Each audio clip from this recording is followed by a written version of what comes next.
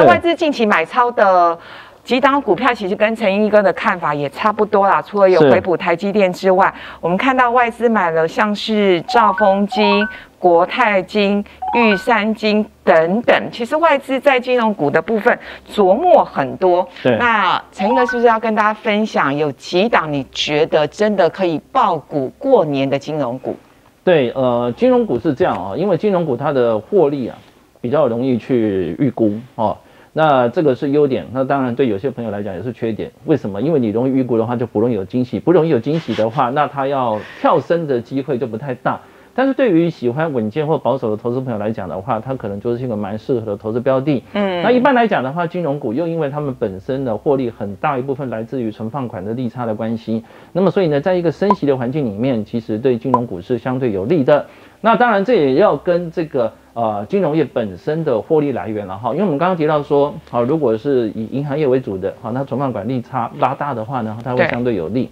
而所以包括像是呃兆丰金啦，哈，或者是说像这个中信金这样公司的话是有机会。那中信金哈，在去年的话，它有一部分的获利是来自于台寿保，啊，其实占的比重还蛮高的哈，啊，所以可能进入这个二零二二年的时候呢，哈，它的获利啊，就成长就比较不会像二零二一年那么明显。但是毕竟的话呢，哈，以它目前的获利啊，啊，大概估了哈，当然这个股利还没公布了，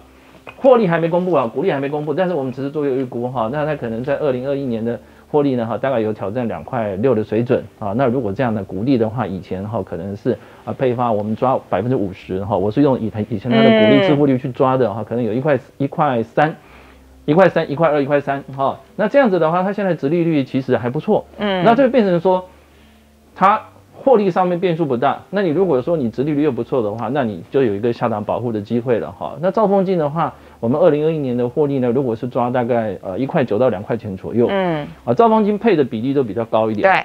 对，哎，那如果是这样子的话，其实对呃兆丰金来讲的话，那么也是有一个呃配可能一块六一块七左右的机会的话，那其实兆丰金啊它的殖利率的话哈呃也不错，所以像这样公司呢哈，我认为外资在做回补，其实它一方面它也做一些的调整。嗯啊，他把整个的资金，啊，从可能比较活泼的部分的话呢，哈，那慢慢的移向相对比较稳健。这其实哈，啊，各位朋友如果有有在观察国外股市，也可以去看这个趋势哈。像上周的国际股市不是跌蛮凶吗？哈，那但是呢，巴菲特的这个波克夏哈。的 V 股啊，它是出现创新高的现象。嗯，好，那伯克夏的本身的持股除了最大是苹果之外，好，那后面的话就是像他买了很多银行股，哎，对，然后呢，能源股这种比较偏价值性投资的公司的话，其实呢，哈，啊，上周的股股市在往下的时候，其实它基本上是股市是往上走的，所以我们目前看得出来，其实国际上大的环境的资金有点这种移动的倾向。然后呢，在国内的话，我们也显示出来，在这个实际上的资金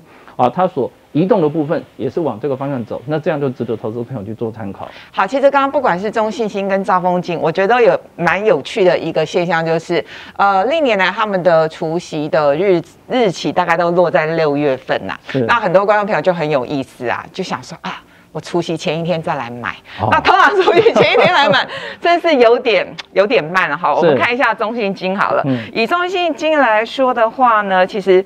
呃六月多除夕，那其实大概买盘大概前几个月就会开始进驻了，所以是不是这样的一个布局的时间点？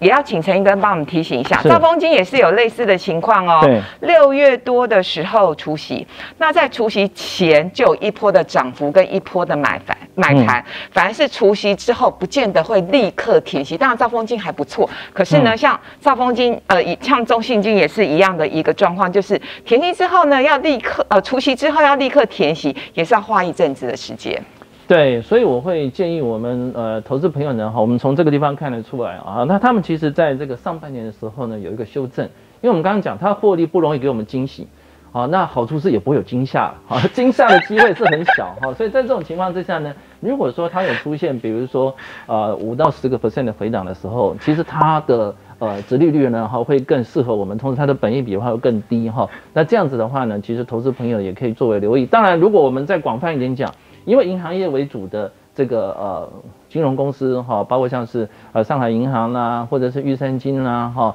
呃和库啦哈这些啊，其实最近我们都看到有买盘去做进驻啊，投资朋友也可以做类似的呃类比和观察。